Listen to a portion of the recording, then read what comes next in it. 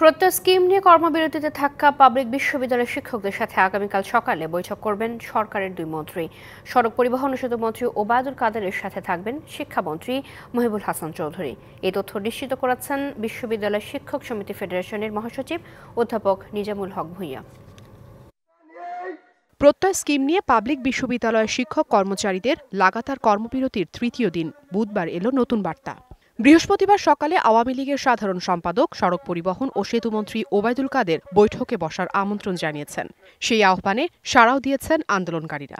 আওয়ামী লীগের সাধারণ সম্পাদক, জাতীয় নেতা ওবায়দুল কাদের সাহেব আমার সাথে কথা বলেছেন এবং আমাদের ছাত্রলীগের সাধারণ কাদের ভাই বললেন যে, আমরা তোমাদের সাথে বসবো এবং বিভিন্নভাবে আমাদের দাবি দেওয়ার কথা বললেন।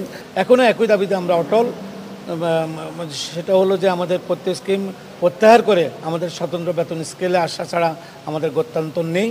শিক্ষার্থীদের ভোগান্তিতে দুঃখ প্রকাশ করে শিক্ষকরা বলেন তারাও চান অতি দ্রুত ক্লাসে ফিরতে। তবে বৈষম্যমূলক এই স্কিম প্রত্যাহারের আগে ফিরবেন না তারা। আড়াইশোটিরও বেশি ডিজাইন অপশন নিয়ে ওয়ালটন স্মার্ট ফ্রিজ বোঝে আপনার প্রয়োজন। এদিকে এই আন্দোলনকে অযৌক্তিক বলায় অর্থমন্ত্রীকে অবিলম্বে পদত্যাগের দাবি জানিয়ে স্কিম বাতিল না হলে আরও কঠোর কর্মসূচির হুঁশিয়ারি দেওয়া হয়েছে। আমরা ঢাকা বিশ্ববিদ্যালয়ের মধ্যে সীমাবদ্ধ থাকব। আমরা আজকে সর্বাত্মক কর্মবিরতি চলছে।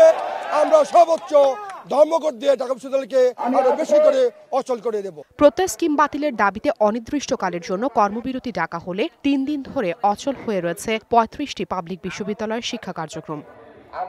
Afrin Anwar DBC news desk